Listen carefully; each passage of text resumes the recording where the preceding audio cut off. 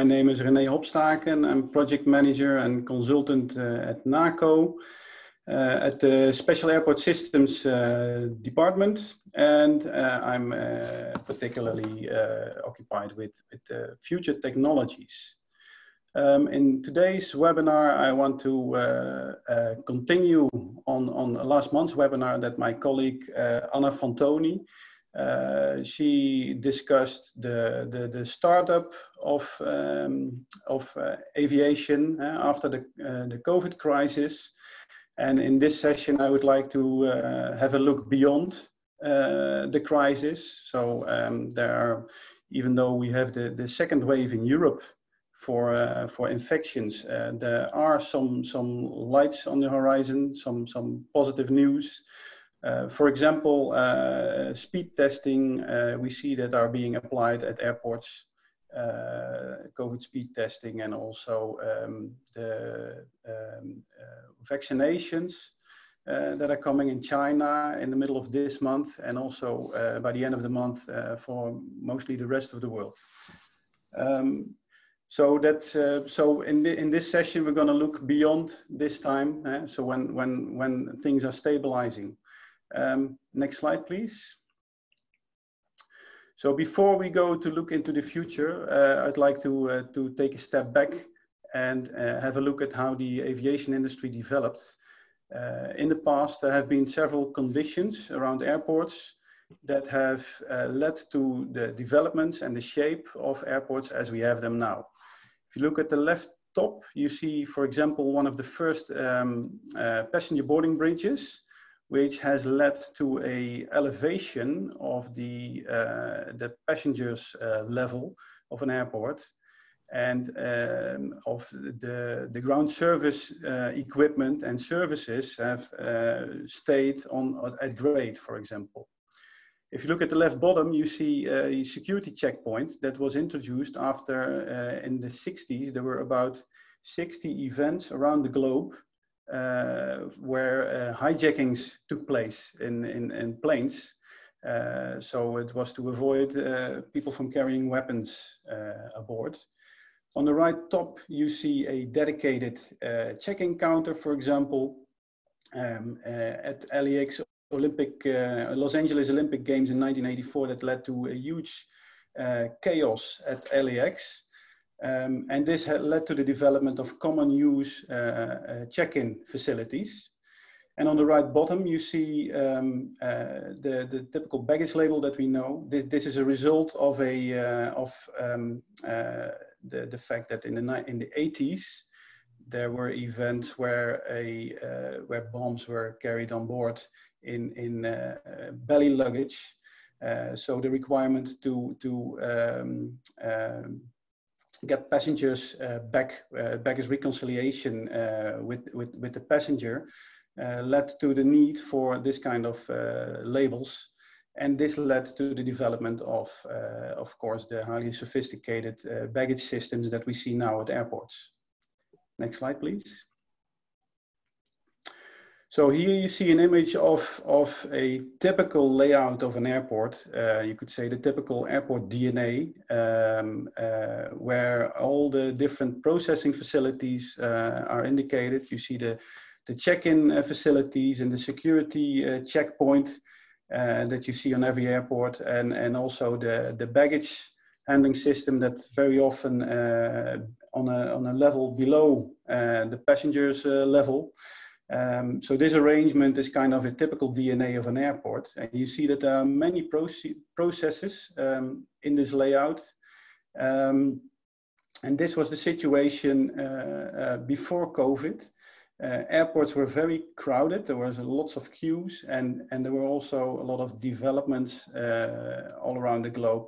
Initiatives, for example, um, uh, IATA Next initiative, all kinds of initiatives to, to develop new technologies um, uh, to, to cope with, with the capacity issues that you had at, uh, at the airport at this moment.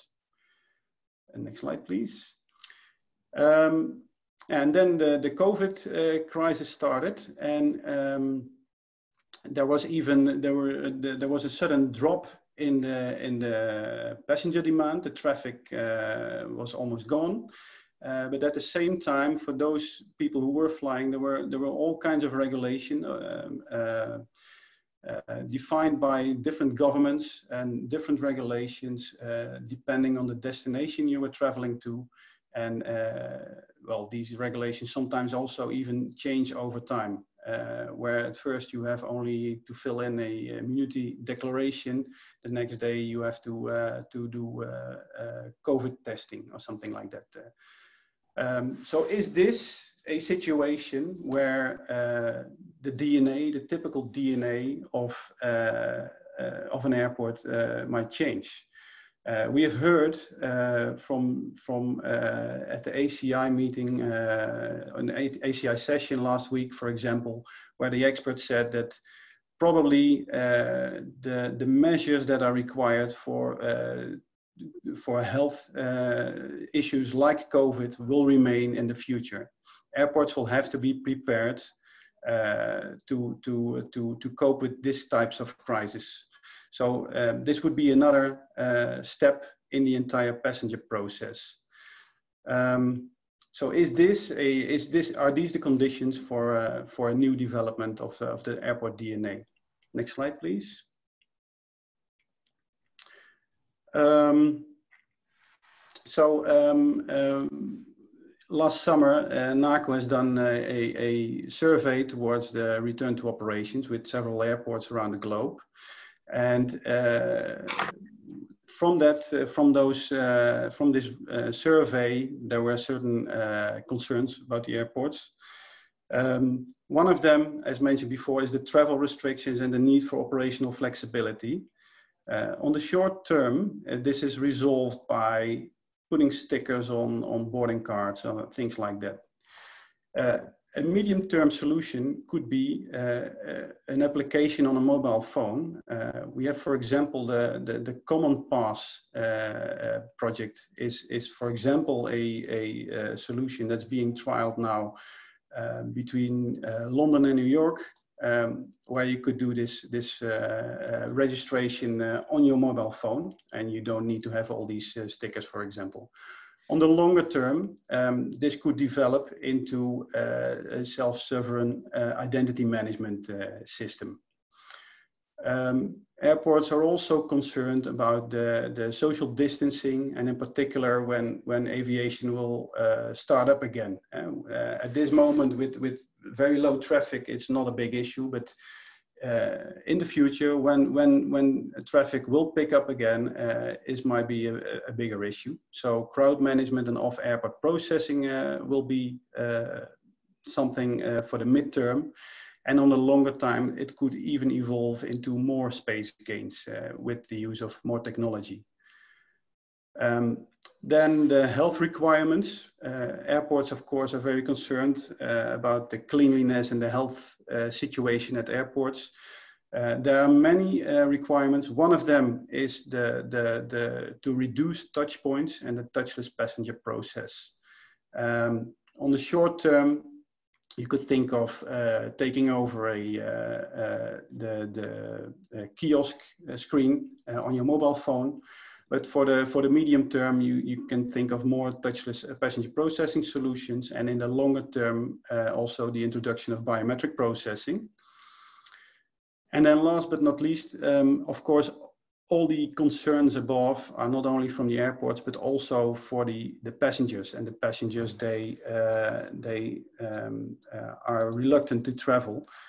Um, so there is a huge loss of of, uh, of uh, income and also revenues from from uh, commercial uh, facilities. For a midterm solution, the introduction of e-commerce platforms could be could be a, a, solution, and for the longer term, land and airside revenue generation.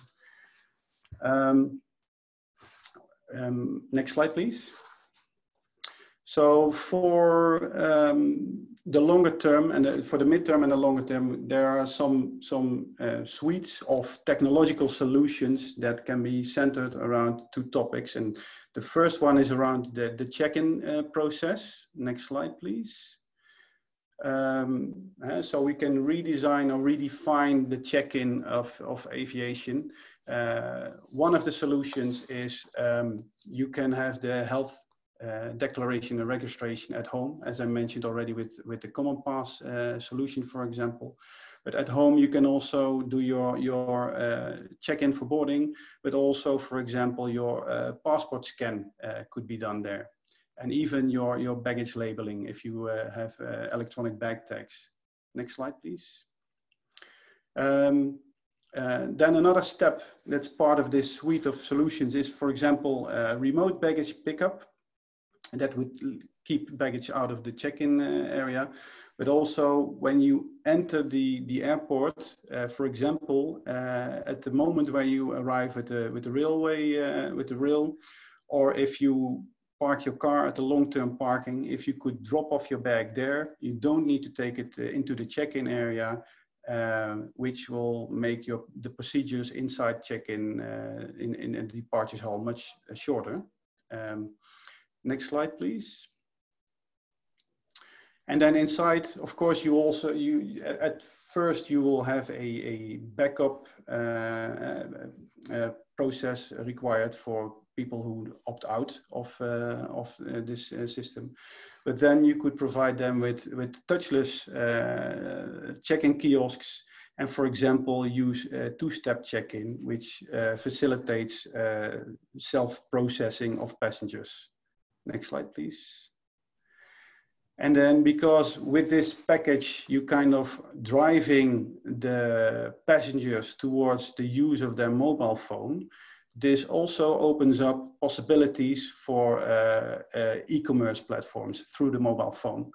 Um, you can think of uh, all kinds of services. For example, uh, combined sales of a train ticket with a plane ticket, um, long-term parking in combination with a, with a plane ticket, and for example, the uh, luxury take-in of your luggage. Um, but you can also think of um, uh, making reservations at restaurants on airside, uh, booking your slot uh, to enter through security, or delivery at the gate of your duty-free goods. Um, next slide, please. Then another um, um, development option that you could have, maybe more for the longer term, is um, around biometric technology. Uh, you could develop the airport further to a single biometric checkpoint. Um, at this moment, NACO is conducting a research um, for ACRP, um, uh, in the US um, and uh, on biometric technologies. We would be very interesting to, to get your feedback uh, in this session or questions regarding this issue. Um, uh, we believe there's a lot of potential uh, to use it uh, at airports. next slide, please. for example, with your self-sovereign ID, you could also use your biometrics in there. And the idea from, from self-sovereign ID is that you own your own data and you can share the data for your trip um, and all the data that is required for your trip uh, with the parties uh, that need it. So you're in control and you, for example, can send your health uh, data uh, to the stakeholder that, uh, that needs to check that. Uh, next slide, please. And then with the use of biometrics, um, you have uh, you have the opportunity to to win uh, to gain a lot of uh, space. For example, by uh, combining the passport control and security checkpoint, uh, the checks are actually being done already at home when you enroll. Uh, so you already know that you can pass every step. Every step. So that's why you could combine it, for example. Uh, and also what you see here is that we uh, that we can we foresee a common departure lounge. You you don't need to have domestic and international separated uh, if you use biometrics. If you check at the at boarding uh, one more time, you're sure that the right person is boarding. Um, so that's also a, a, big advantage.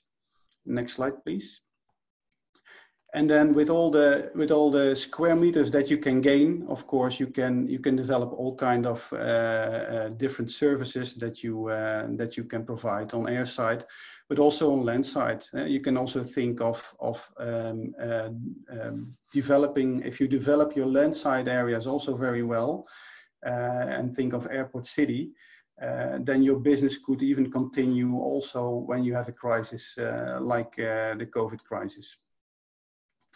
So at the end, if you see that we have only one biometric checkpoint, then compared with the, the layout that we started with, we believe this is a, this is a great step uh, for uh, passengers and the passenger experience.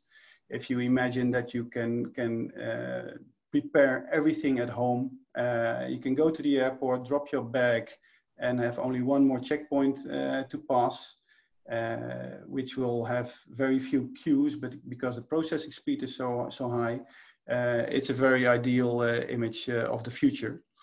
Um, of course, this is a nice image. Um, in order to get there, it will cost a lot of money and a lot of investments. Um, uh, we are very aware that at this moment, uh, airlines and airports, they have uh, very little money to spend.